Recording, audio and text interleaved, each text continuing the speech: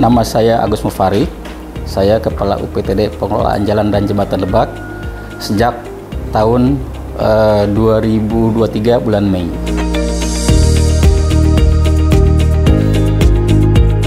UPTD Pengelolaan Jalan dan Jembatan Lebak merupakan unit kerja di bawah Dinas PUPR Provinsi Banten sesuai dengan Pergub nomor 19 tahun 2018 tentang organisasi dan tata kerja UPTD di lingkungan pemerintah Provinsi Banten. UPTD mempunyai tugas melaksanakan kegiatan operasional dinas di bidang pemeliharaan jalan dan jembatan di wilayah Kabupaten Lebak. Ruas provinsi di, yang ada di wilayah Kabupaten Lebak hanya ada 12 ruas.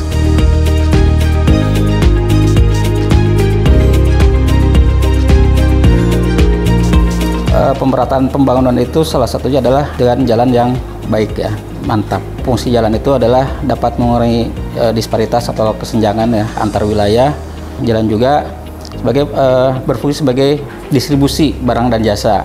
Jadi uh, kalau misalnya jalan itu baik, maka semuanya akan berjalan dengan baik dan lancar.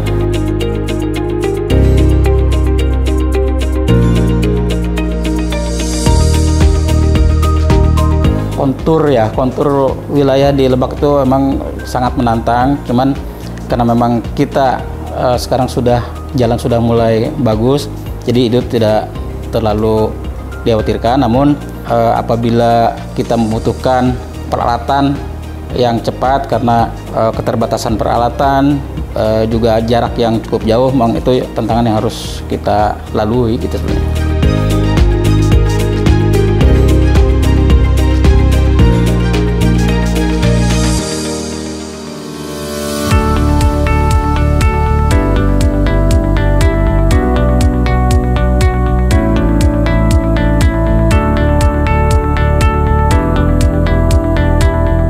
Harapan saya pribadi dan sebagai kepala UPT sebetulnya saya dan asli orang sini ya saya pengen jalan di wilayah Lebak terutama untuk jalan provinsi itu bagus semua gitu ya dan uh, saya selalu mengusulkan program ke dinas supaya memang di wilayah Lebak itu jalannya semua uh, bagus dan menjadi prioritas dari bidang guna marga gitu.